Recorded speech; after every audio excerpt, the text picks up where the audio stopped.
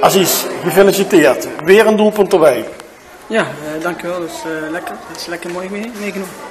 Ja, uh, je hebt wel een paar kansjes eigenlijk gemist, laten we eerlijk zijn. Ja, het had eigenlijk, ik had eigenlijk al drie of vier goals moeten maken, maar ik ben blij met, met de drie punten en met hoe wij eerst zelf hebben gespeeld. En ja, en verder, verder we gaan gewoon naar de volgende wedstrijd kijken. En, misschien hoop ik dat ik twee of, drie, of meer goals maak. Ja goed, je hebt er nou tot nog toe drie gemaakt. Vorig jaar had je er negen gemaakt. Waar ga je dit jaar eindigen? Ik, uh, ik had gehoopt meer als, uh, meer als tien. Dus uh, ik ga heel erg mijn, mijn best doen om toch weer de tien te halen. En vanuit daar doorgroeien.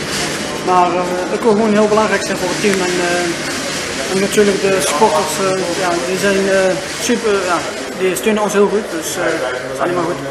Ja, je hebt vandaag ook weer gewerkt als een paard. Dit keer was jij niet de man van de wedstrijd. Nou was het wel Jordi Broels, maar als je gaat kijken, eigenlijk is iedereen de man van de wedstrijd. Ja, weet je, ik, ik, ik gun het uh, Jordi Broels uh, heel erg. Omdat hij, omdat hij vorig jaar uh, wat minder seizoen heeft gedraaid. En dit jaar vind ik, vind ik hem super. Ik kan heel goed met hem omschieten en lekker voetballen.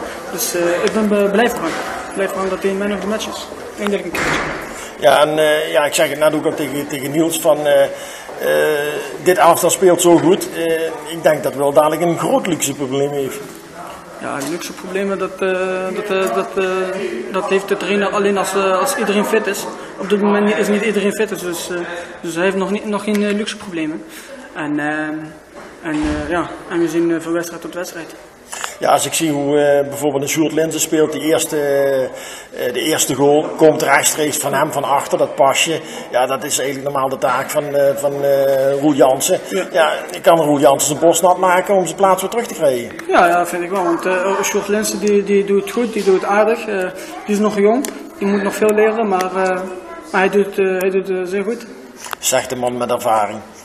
Ja, ervaring heb ik niet, maar ik, uh, ik leer dingen heel snel en uh, ik pik het heel snel op. Dus ik probeer ook de jonge jongens uh, te helpen, wat ik kan. En het is altijd goed. Ja, ik zeg het eigenlijk wel lachen, lachen maar je hebt inmiddels toch al ruim een jaar ervaring. Ja, klopt. Dus ja, ik weet, hoe het, ik weet ondertussen hoe het, hoe het gaat in de Jupiler League. En wat er gevraagd wordt. En vandaar, vanuit, vanuit deze positie moet ik doorgooien natuurlijk. En, en hoop op, op een hoger niveau ja, hoger niveau. Uh, we zijn in, een goed week tijd van 18 naar 11 gegaan. Nu zijn we, uh, zijn we weer, of 12 was het geloof. En nu zijn we weer op plaats 8. Uh, hoe gaat het verder? Ja, weet je, nu horen wij waar we, te horen zijn. En vanuit die positie. We kijken natuurlijk alleen omhoog, niet, niet omlaag. En, en ja, en, en, ja, en we moeten gewoon, gewoon onze eigen spel blijven spelen. En, en verder komt alles goed en hopen we dat we, voor, dat we dit jaar weer play-offs halen. En dan ben ik uh, heel erg tevreden.